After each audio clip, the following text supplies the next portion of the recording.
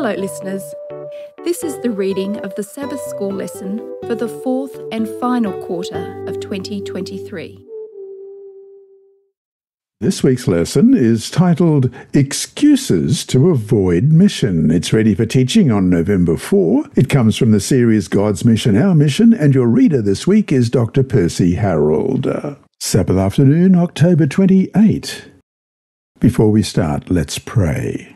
Our Heavenly Father, we thank you that as we look at the story of how we in your word can understand more about your mission for us, how we can respond to the mission that Jesus provided in coming to provide his sacrifice so that each of us could have eternal life. And as he has promised to come back again, we pray that as we study this lesson on mission this week, that your Holy Spirit will guide us. May your words be like gold to us, and may we treasure them and use them in our own lives. Lord, as we open your word, I'd like today to pray for some people who've contacted me who have requested prayer and some who haven't too. I'd like to pray for Uriel James and family and Edward Omanefa in Papua New Guinea and Martha Paul and her children and Lloyd Beckford and Hope Bennett and Joe Pert and Josiah Lord, I'd also like to pray for Lorna Ray Dever and her Sabbath school class who meet on Zoom, and Tabanata and her family, and Mila from Auckland, New Zealand, and Hazel and Ballaston and family, and Jackie from Zimbabwe, and Andrew Green. Lord, wherever we're listening from, we know that it's a different time for each of us, but it's also a time when we can put our hand in your hand and ask for your leading and guiding in our lives. And I pray, pray for a blessing on each person uh, who's listening here this week. In Jesus' name, amen. Our memory text this week comes from Isaiah chapter 6 and verse 8. Also, I heard the voice of the Lord saying, Whom shall I send, and who will go for us? Then I said, Here am I, send me. Let's read that again Isaiah 6 and verse 8. Also, I heard the voice of the Lord saying, Whom shall I send, and who will go for us? Then I said, Here am I, send me. Not everyone called to mission was as compliant as Abraham. Jonah is an example, and we'll read about that a little later on. God called Jonah to cry out against Nineveh, capital of Assyria. This city, located in modern day Iraq, was 560 miles from Jerusalem. That's about 900 kilometers from Jerusalem, a good month's journey. Jonah not only refused to go, he ran in the opposite direction. Arriving at Joppa, he purchased passage to Tarshish, now southern Spain, sailing the 2,000 mile or almost 3,000 kilometre. Would have taken at least a month, depending on the weather. Not wanting to confront the king of Assyria, Jonah uses the month it would have taken him to get to Nineveh to get away from it. Why would he, a man of God, have done that? The Ninevites were notoriously wicked, a people known for their evil and cruelty, and who had attacked Israel and Judah. Nevertheless, God called Jonah to go to Nineveh and to cry out against its great wickedness.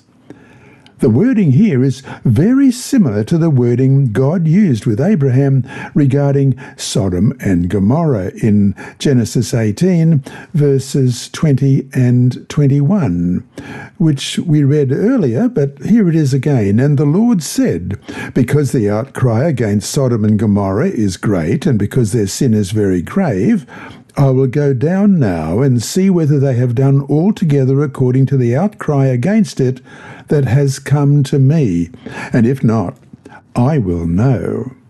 As we will see, however, Jonah was no Abraham.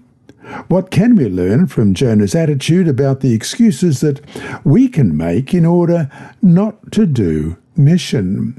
So let's read the story of Jonah, beginning at verse 1 in chapter 1, right through to the last verse of chapter 4. It's a short story, so stay with me. Now the word of the Lord came to Jonah the son of Amittai, saying, Arise, go to Nineveh, that great city, and cry out against it, for their wickedness has come up before me. But Jonah arose to flee to Tarshish from the presence of the Lord. He went down to Joppa and found a ship going to Tarshish. So he paid the fare and went down into it to go with them to Tarshish from the presence of the Lord.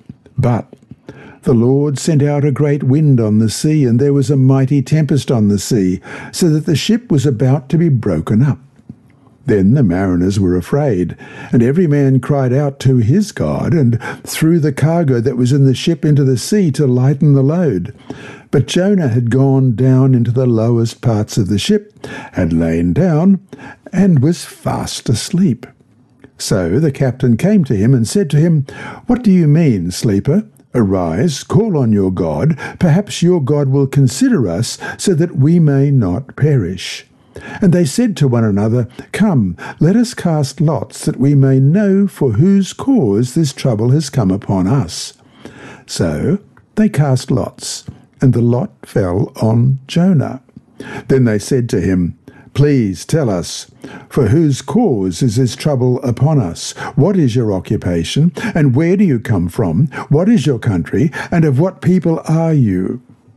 So he said to them, I am a Hebrew, and I fear the Lord, the God of heaven, who made the sea and the dry land. Then the men were exceedingly afraid, and said to him, why have you done this? For the men knew that he fled from the presence of the Lord, because he had told them. Then they said to him, What shall we do to you that the sea may be calm for us? For the sea was growing more tempestuous. And he said to them, Pick me up and throw me into the sea. Then the sea will become calm for you, for I know that this great tempest is because of me. Nevertheless, the men rowed hard to return to land, but they could not, for the sea continued to grow more tempestuous against them.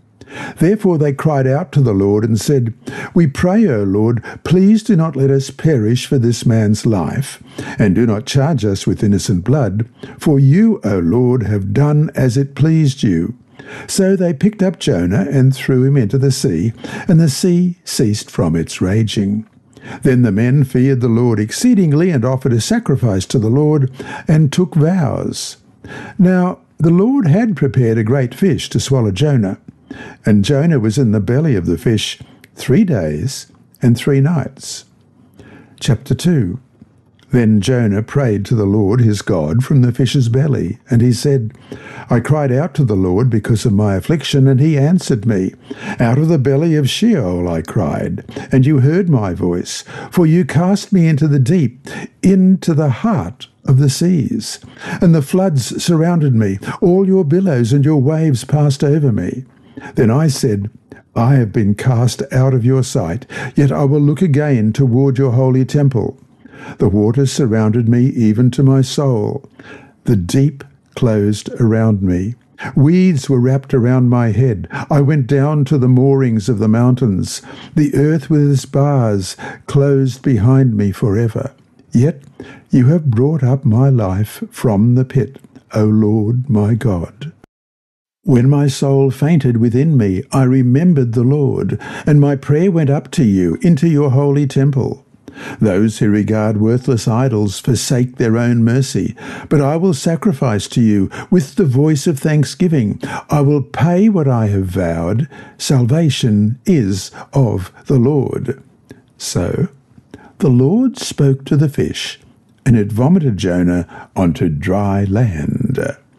Chapter 3 now the word of the Lord came to Jonah the second time, saying, Arise, go to Nineveh, that great city, and preach to it the message that I tell you. So Jonah arose and went to Nineveh, according to the word of the Lord. Now Nineveh was an exceedingly great city, a three day journey in extent. And Jonah began to enter the city on the first day's walk. Then he cried out and said, Yet forty days, and Nineveh shall be overthrown. So the people of Nineveh believed God, proclaimed a fast, and put on sackcloth from the greatest to the least of them. Then word came to the king of Nineveh, and he arose from his throne and laid aside his robe, covered himself with sackcloth, and sat in ashes. And he caused it to be proclaimed and published throughout Nineveh by the decree of the king and his nobles, saying, Let neither man nor beast, herd nor flock taste anything. Do not let them eat or drink water. But let man and beast be covered with sackcloth and cry mightily to God. Yes, let every one turn from his evil way and from the violence that is in his hands. Who can tell if God will turn and relent and turn away from his fierce anger, so that we may not perish? Then God saw their works, that they turned from their evil way, and God relented from the disaster that he had said he would bring upon them, and he did not do it. But it displeased Jonah exceedingly, and he became angry. So he prayed to the Lord and said, Ah, Lord, was not this what I said when I was still in my country? Therefore I fled previously to Tarshish, for I know that you are a gracious and merciful God, slow to anger, and abundant in loving kindness, one who relents from doing harm. And we're in chapter 4 now. Therefore now, O Lord, please take my life from me, for it is better for me to die than to live. Then the Lord said, Is it right for you to be angry? So Jonah went out of the city and sat on the east side of the city. There he made himself a shelter and sat under it in the shade, till he might see what would become of the city. And the Lord God prepared a plant and made it come up over Jonah that it might be shade for his head to deliver him from his misery. So Jonah was very grateful for the plant. But as morning dawned the next day, God prepared a worm. And it so damaged the plant that it withered. And it happened when the sun arose that God prepared a vehement east wind. And the sun beat on Jonah's head so that he grew faint. Then he wished death for himself and said, It is better for me to die than to live. Then God said to Jonah, Is it right for you to be angry about the plant? And he said, It is right for me to be angry, even to death. But the Lord said, You have had pity on the plant for which you have not laboured, nor made it grow, which came up in a night and perished in a night. And should I not pity Nineveh, that great city in which are more than 120,000 persons who cannot discern between their right hand and their left, and much livestock?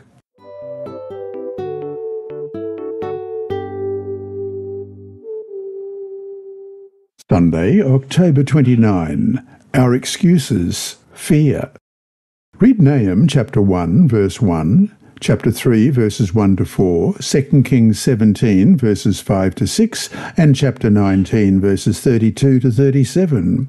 What do these verses reveal about Nineveh and the relationship between Assyria and Israel? How might this relationship have impacted Jonah's decision to go to Tarshish instead? First of all, Nahum, verse 1. The burden against Nineveh, the book of the vision of Nahum the Elkoshite, and Nahum chapter 3, verses 1 to 4. Woe to the bloody city! It is all full of lies and robbery. Its victim never departs. The noise of a whip and the noise of rattling wheels, of galloping horses, of clattering chariots, horsemen charge with bright sword and glittering spear. There is a multitude of slain, a great number of bodies, countless corpses. They stumble over the corpses because of the multitude of harlotries of the seductive harlot, the mistress of sorceries, who sells nations through her harlotries and families through her sorceries. And then we look at 2 Kings 17, verses 5 and 6. Now the king of Assyria went throughout all the land and went up to Samaria and besieged it for three years. In the ninth year of Hoshea, the king of Assyria took Samaria and carried Israel away to Assyria and placed them in Halah and by the Habor, the river of Gozan, and in the cities of the Medes. And 2 Kings 19, verses 32 to 37. Therefore, thus says the Lord concerning the king of Assyria He shall not come into this city, nor shoot an arrow there, nor come before it with shield, nor build a siege mound against it. By the way that he came, by the same shall he return, and he shall not come into this city, says the Lord. For I will defend this city to save it, for my own sake and for my servant David's sake. And it came to pass on a certain night that the angel of the Lord went out and killed in the camp of the Assyrians one hundred and eighty five thousand. And when people arose early in the morning, there were the corpses all dead. So Sennacherib, king of Assyria, departed and went away, returned home, and remained at Nineveh. Now it came to pass, as he was worshipping in the temple of Nisroch, his god, that his sons Adramelech and Sharezer struck him down with the sword, and they escaped into the land of Ararat. Then Esarhaddon, his son, reigned in his place. One of the reasons Jonah may have been unwilling to go to Nineveh was fear. The Assyrians were a formidable foe, and Nineveh served as the capital of the kingdom.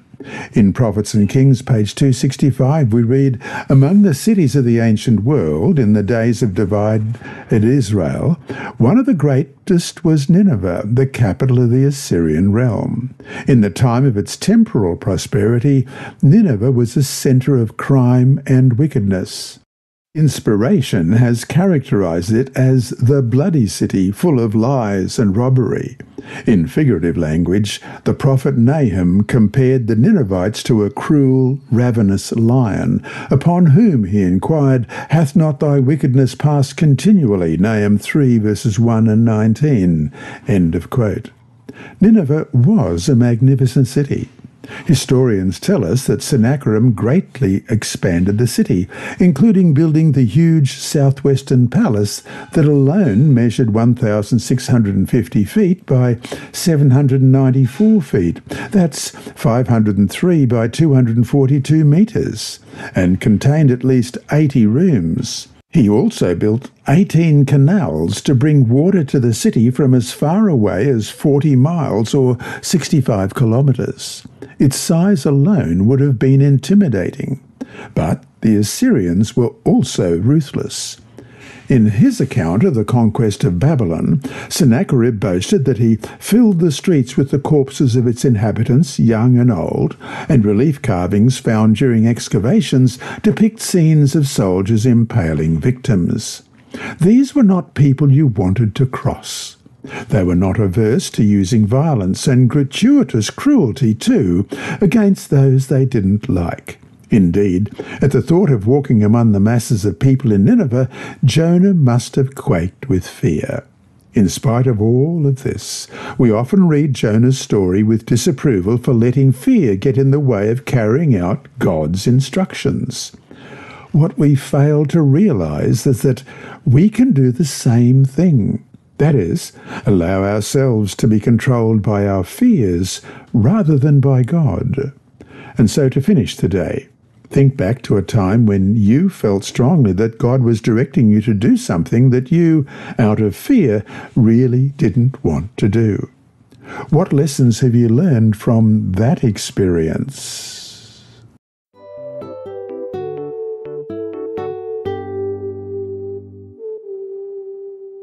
Monday, October 30, Our Excuses, False Views.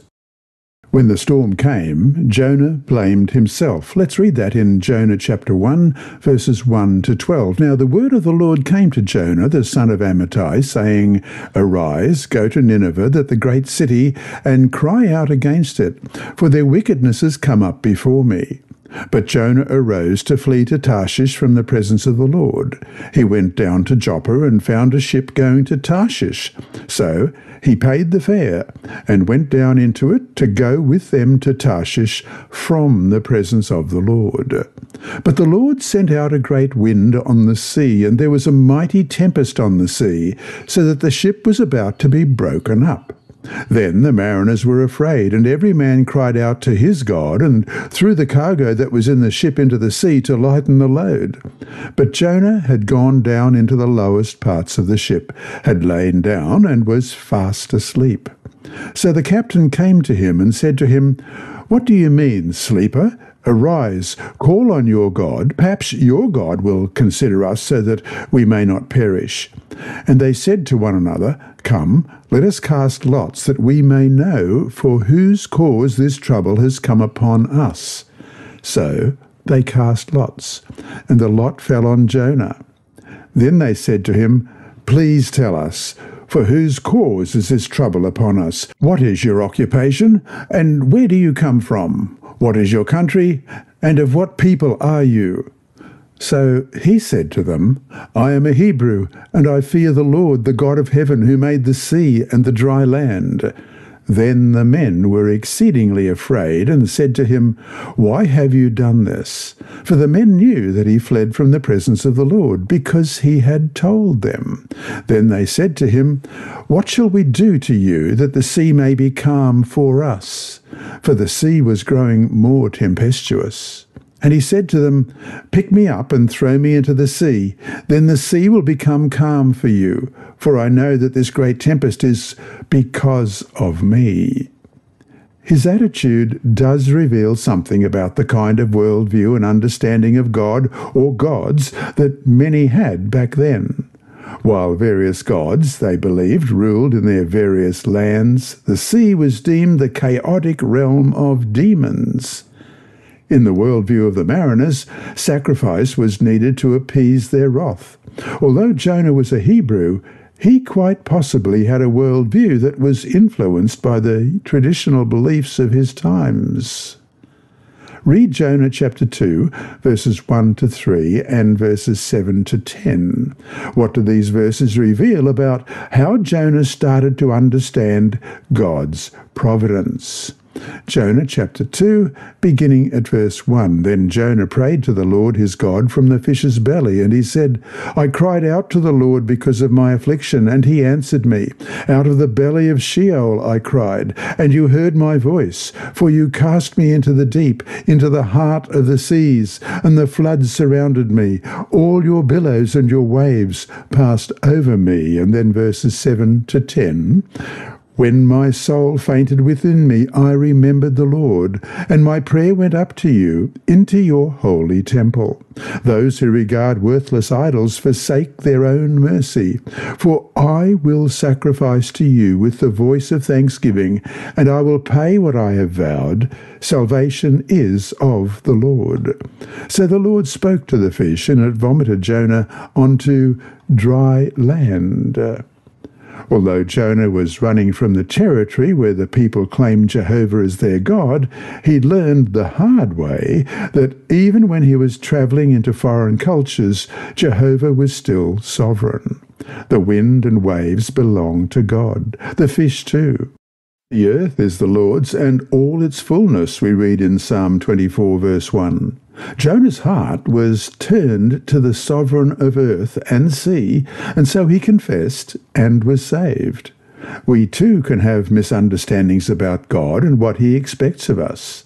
One common misunderstanding is that God's desire for us is to focus on our own salvation and to remove ourselves from the wickedness of the world around us. Though we are instructed to keep ourselves unspotted from the world in James 1:27, our focus should be on how we can bring God's blessings and hope to those in need. Another misunderstanding that stops us from accepting God's call into mission is believing that success depends on ourselves. We can no more save a soul than Jonah could save Nineveh. We can have a saviour mentality about mission. Our call is not to do the saving, but to cooperate with God in His saving work. We give testimony praising God for specific ways He is changing us, but only God can draw people to Himself. We can plant seeds of truth, but only God can convert the heart. We often confuse our role with God's, which is enough to make anyone find an excuse not to witness. Yes, God used Jonah, but only God, not Jonah, turned Nineveh around. And so, to finish today, winning souls is hard, too hard for humans to do on their own. How can we learn instead to let God win souls, but through us and our life and witness?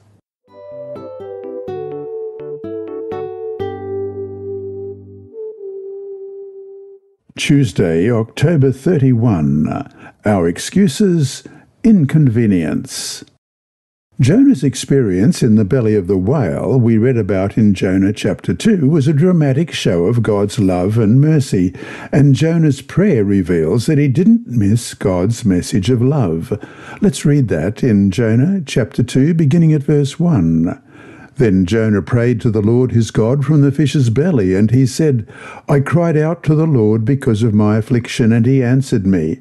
Out of the belly of Sheol I cried, and you heard my voice. For you cast me into the deep, into the heart of the seas, and the floods surrounded me. All your billows and your waves passed over me. Then I said, I have been cast out of your sight. Yet I will look again toward your holy temple. The waters surrounded me even to my soul, and deep closed around me. Weeds were wrapped around my head. I went down to the moorings of the mountains. The earth with its bars closed behind me for ever. Yet you have brought up my life from the pit. O Lord my God. When my soul fainted within me, I remembered the Lord, and my prayer went up to you, into your holy temple. Those who regard worthless idols forsake their own mercy, but I will sacrifice to you. With the voice of thanksgiving I will pay what I have vowed. Salvation is of the Lord. So the Lord spoke to the fish, and it vomited Jonah onto dry land. But just because he had an incredible encounter with God didn't mean that his old thought habits or attitudes would easily change, even though he went to Nineveh anyway. Read Jonah chapter 3. How did the people respond to what Jonah had preached? What lessons are here for us about witnessing? Jonah chapter 3, beginning at verse 1. Now the word of the Lord came to Jonah the second time, saying, Arise, go to Nineveh, that great city, and preach to it the message that I tell you. So Jonah arose and went to Nineveh according to the word of the Lord. Now Nineveh was an exceedingly great city, a three day journey in extent, and Jonah began to enter the city on the first day's walk.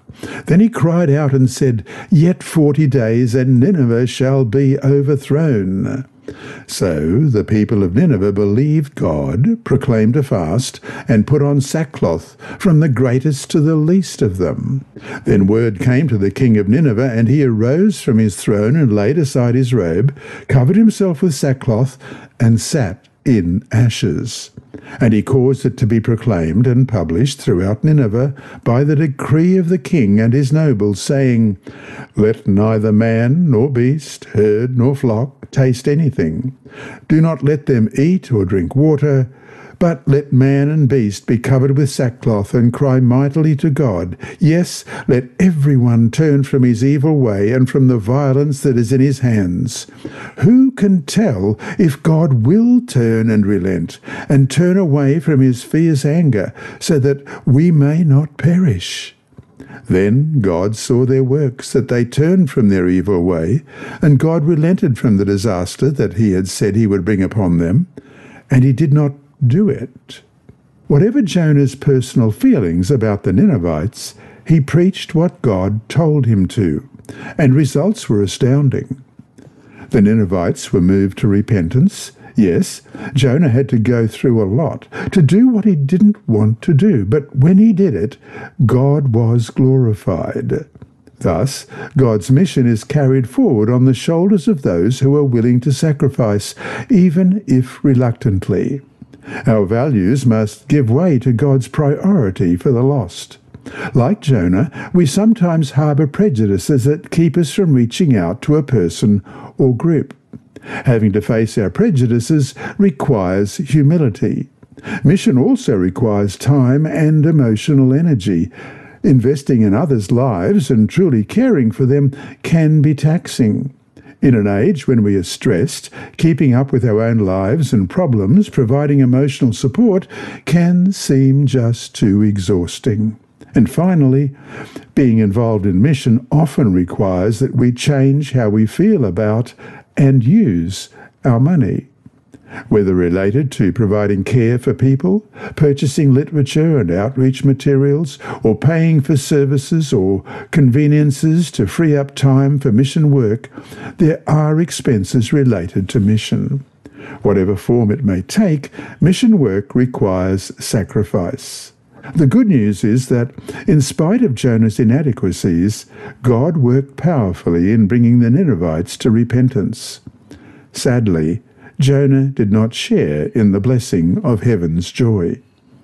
And so to finish today, what sacrifice is God asking you to make or be ready to make for the sake of sharing His love with someone else? How completely do you trust that He will fulfill His promise to enrich your life through sacrifice?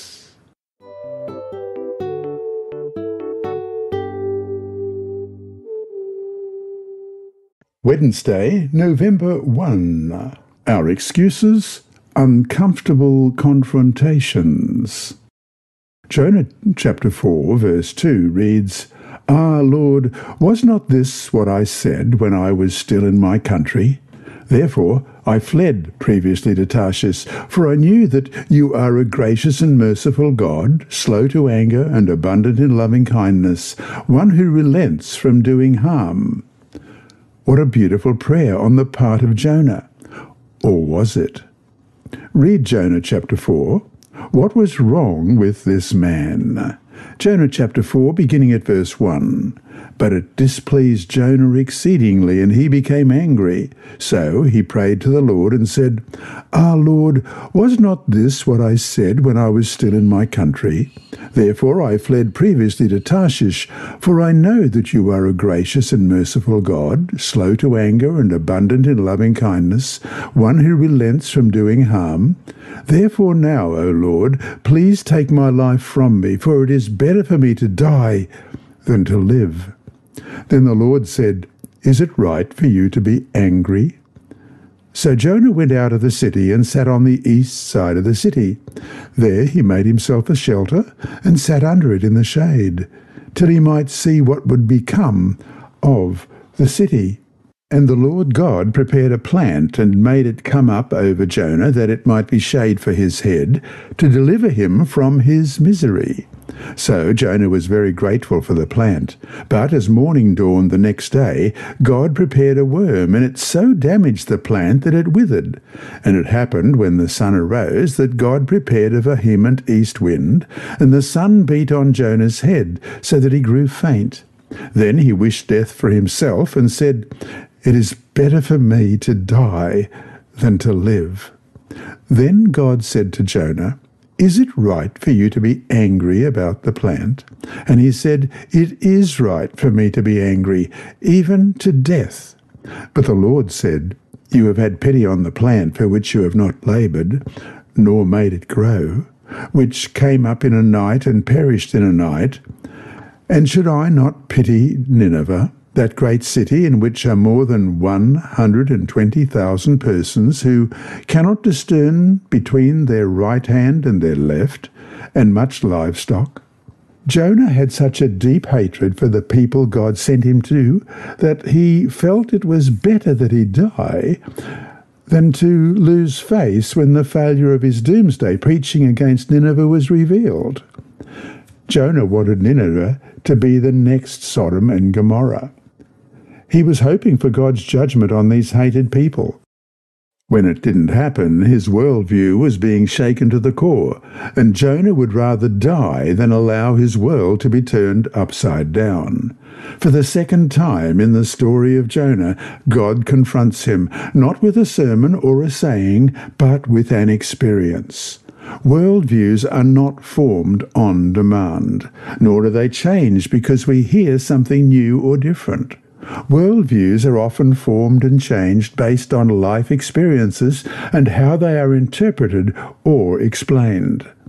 The new experience God gave was to help Jonah recognize his own distorted worldview. God made a plant miraculously grow large enough in one day to offer sufficient shade to protect Jonah from the blazing sun. Jonah was grateful, not for God, who performed the miracle, but for the plant. Rather than seeing this as an unmerited miracle, he saw it as an appropriate and well deserved blessing that followed his good works. When the plant died, it was a misfortune that caused Jonah to grow angry and insecure in his self worth, and his thoughts grew suicidal. The experience is followed by God's voice of gentle correction, helping Jonah see how foolish it was for him to value a plant more than the many thousands of men, women, and children in Nineveh, as well as their animals. And so to finish today, the story doesn't resolve with an ending of Jonah's repentance. Rather, the unfinished story pivots to us. What will we do about God's concern for the wicked, for the bullies, for the unreached across the globe?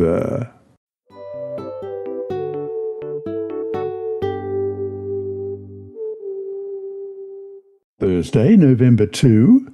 Here am I, send me. Jonah's story is more than amazing. The fact that God could save the Ninevites in spite of the poor witness of Jonah is a stark reminder that our role is merely to be a conduit for God, who alone can convict and convert hearts. It is a reminder that God seeks only willing and humble messengers who will follow his direction. Read Isaiah chapter 6, verses 1 to 8. What is the central idea expressed in this passage? Isaiah 6, beginning at verse 1. In the year that King Uzziah died, I saw the Lord sitting on a throne, high and lifted up, and the train of his robe filled the temple. Above it stood seraphim. Each one had six wings. With two he covered his face, with two he covered his feet, and with two he flew. And one cried to another and said, Holy, holy, holy is the Lord of hosts. The whole earth is full of his glory. And the posts of the door were shaken by the voice of him who cried out, and the house was filled with smoke. So I said, Woe is me, for I am undone, because I am a man of unclean lips, and I dwell in the midst of a people of unclean lips, for my eyes have seen the King, the Lord of hosts. Then one of the seraphim flew to me, having in his hand a live coal which he had taken with the tongs from the altar, and he touched my mouth with it, and said, Behold, this has touched your lips, your iniquity is taken away, and your sin purged. Also I heard the voice of the Lord saying, Whom shall I send, and who will go for us? Then I said, Here am I send me. The call is there. God is looking for willing volunteers. We are to answer that call by submitting to his leadership, listening to hear his voice, and then choosing to obey whatever he tells us. The story of Jonah also reveals God's love for people who live where his love is not felt and his voice not heard. Just as God had pity on Nineveh, he has pity on the millions populating the cities today, where buildings replace trees and flowers, and constant noise makes it difficult to be still and listen. Of Nineveh, God said, They do not know their right hand from their left. That's Jonah 4, verse 11. God needs messengers who are willing to take his message of hope to those overwhelmed with the busyness and ugliness of life. Isaiah heard a voice saying, Who will go? What will your response be? And that brings us to our thoughts for today. Challenge. On a blank sheet of paper or in your prayer journal, make a list of 10 people you know are not believers. We will call them your disciples. List them by name if possible. Keep this list close by, and for the rest of the quarter, pray daily for each of your ten disciples. Pray that God will help you become casual friends with those who are acquaintances. Pray that you can develop deeper, closer, trusting friendships with your casual friends. As you deepen your relationships, carefully watch and listen so you can identify their specific needs, hurts, and pain. Then pray that God will meet them in that area of need. And challenge up. Choose a city near you as well as a city in another part of the world. Begin praying for the people who live and work in each.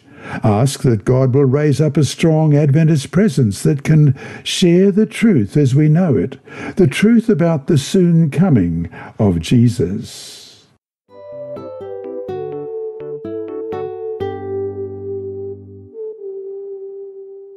Friday, November 3. Ellen G. White has a strong warning for those who are struggling to follow the call of Jesus to witness to those around them. She writes in the Advent Review and Herald, August 30, 1892.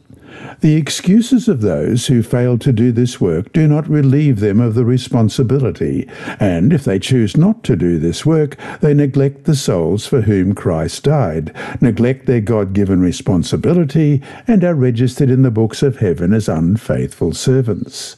Does the minister work as did the master to be a strength and a blessing to others when he shuts himself away from those who need his help? Those who neglect personal intercourse with the people become self centered and need this very experience of placing themselves in communication with their brethren, that they may understand their spiritual condition and know how to feed the flock of God, giving to each his portion of meat in due season. Those who neglect this work make it manifest that they need moral renovation, and then they will see they have not carried the burden of the work. End of quote. While these are very strong words highlighting the importance God places on mission, we are not left without hope. In the charge given him, she writes in Prophets and Kings, page 266, Jonah had been entrusted with a heavy responsibility. Yet he who had bidden him go was able to sustain his servant and grant him success. Had the prophet obeyed unquestioningly, he would have been spared many bitter experiences and would have been blessed abundantly. Yet, in the hour of Jonah's despair, the Lord did not desert him. Through a series of trials and strange providences, the prophet's confidence in God and in his infinite power to save was to be revived. End of quote. Just like Jonah, we may find it easier to make excuses for not participating in mission. Our motivation for these excuses could be one of many. However, our call to mission is no less specific than was Jonah's call. The question is, how will you choose to answer? And that brings us to our three discussion questions for this week. One, what excuses have you been tempted to use for not being involved in mission? What is your Nineveh? Two, think about how precious the truth is that we as Seventh day Adventists have. Think about how blessed you are to have these truths. What is holding you back from sharing with others what we love so much? And three, how can you learn by God's grace to overcome any fears you might have about witnessing and mission?